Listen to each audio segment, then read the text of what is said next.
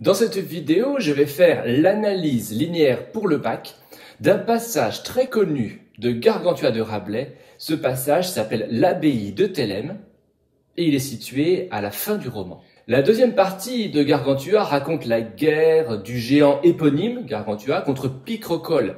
C'est un homme irascible qui veut prendre ses terres. Durant la guerre, euh, Gargantua est vaillamment aidé par un moine qui s'appelle Frère Jean, et qui aime manger et boire et connaît par cœur l'art du combat. Dans les dernières pages du roman, le géant crée, pour le remercier, une abbaye que ce frère Jean dirigera, parce qu'il se trouvait en fait assez mal dans l'abbaye précédente, il y avait trop de règles. C'est l'occasion pour Rabelais de faire une critique des pratiques religieuses sclérosées de son temps, et avec la création de l'abbaye de Thélème, il nous montre ce qu'est, selon lui, le monde parfait, ou au moins l'abbaye parfaite. Il s'agit donc d'une utopie, dans laquelle il intègre les pensées des humanistes, qui sont le pacifisme et une éducation extrêmement soignée. Notre texte est structuré en deux parties. Une première partie conduit à la règle de cette abbaye, l'explique et la justifie, et puis une deuxième partie, à partir de la ligne 15, fait davantage le portrait des habitants de cette abbaye. Nous étudierons ce texte en répondant à la question suivante. En quoi Rabelais présente-t-il ici une utopie bien construite?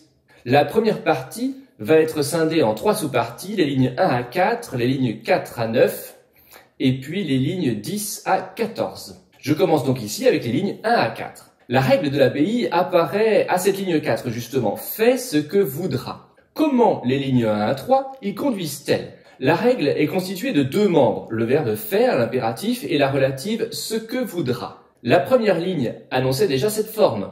Toute leur vie était employée selon leur vouloir et franc arbitre. On retrouve cette même forme plusieurs fois répétée dans les deux lignes qui suivent. Se levait du lit quand bon leur semblait, buvait, mangeait, travaillait, dormait quand le désir leur venait.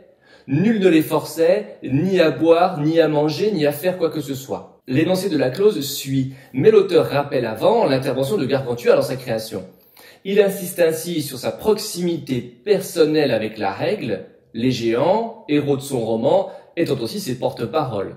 Dans l'énoncé de la règle, fais ce que voudra, il synthétise donc de façon abstraite, en reprenant un singulier cette fois, ce qui a été expliqué dans les trois premières lignes. Ainsi, l'auteur commence par expliquer comment vivent les habitants de Thélème, quelles habitudes ils ont, avant d'énoncer la règle. Il illustre la règle pour le lecteur avant de la présenter.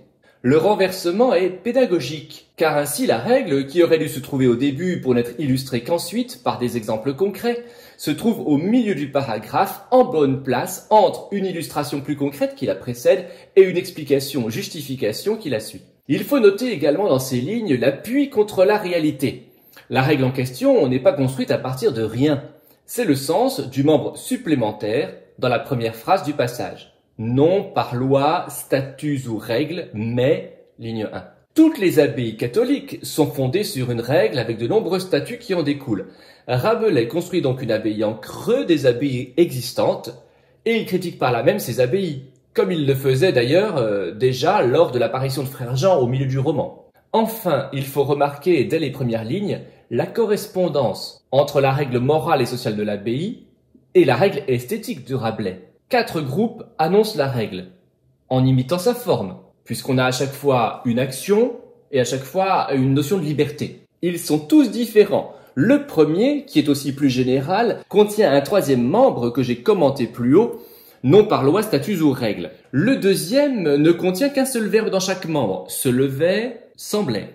Le troisième contient quatre verbes dans le premier membre et un seul dans le deuxième, buvait, mangeait, travaillait, dormait, et puis venait dans le deuxième membre. Le quatrième exemple de cette règle contient deux verbes dans le premier membre, éveillait et forçait, et trois dans le deuxième, boire, manger, faire. Du reste, pourquoi ce deuxième membre, dans la quatrième illustration de la règle, répète-t-il en partie le membre précédent?